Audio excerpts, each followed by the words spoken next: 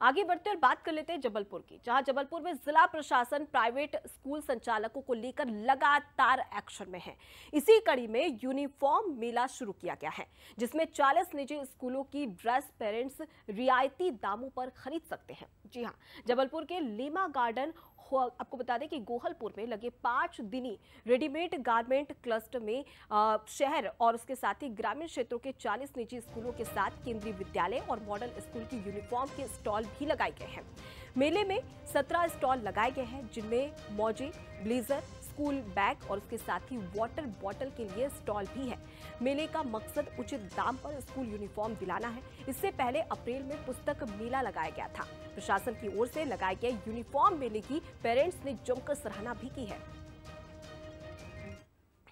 तो देखिए, जबलपुर में एक सराहनीय काम जिस प्रकार से स्कूल माफियाओं का आतंक देखने को मिल रहा है और मनमानी फ़ीस वसूली जा रही है स्कूल और ड्रेस के नाम पर, उसके साथ ही किताबों को लेकर तो तमाम जो यूनिफॉर्म है उसको लेकर। लेकिन अब इस पर शिकंजा कसने के लिए कार्रवाई तो जबलपुर में की जा रही है, लेकिन एक एक प्रशंसनीय पहल यहाँ पर की गई है, जहाँ तमाम जो ड्रेस है उसके लिए एक मेला भी लगाया गया है।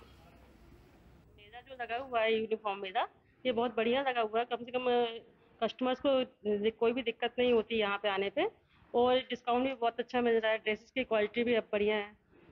बाकी तो यूजफुल है सभी चीज़। दोनों की यूनिफॉर्म यहाँ एक साथ मिल रही है। अच्छी बात है। नहीं तो मार्केट में अलग अलग जाके देखना पड़ती है। दूसरी अच्छी बात है कि इसकी क्वालिटी भी अच्छी है यहाँ पे। अच्छी यूनिफॉर्म है, एक साथ मिल जा रही है। और बाकी ठीक है। प्राइस भी ठीक है।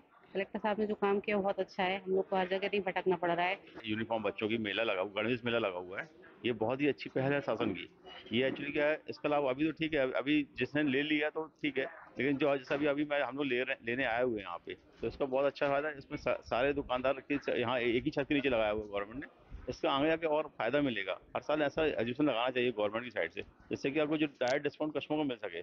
जो स्कूल और जो अन्य लोग इसमें कमीशन खोरी करते हैं वो बंद हो चुकी है इस, चक्कर में। और मध्य शासन ने संज्ञान में लेकर पूरे पूरे जिलों में वो मेला का आयोजन कराया था। वो हमारे कलेक्टर महोदय के मार्गदर्शन में वह अद्वितीय शुरुआत हमारे ज़िले से हुई थी।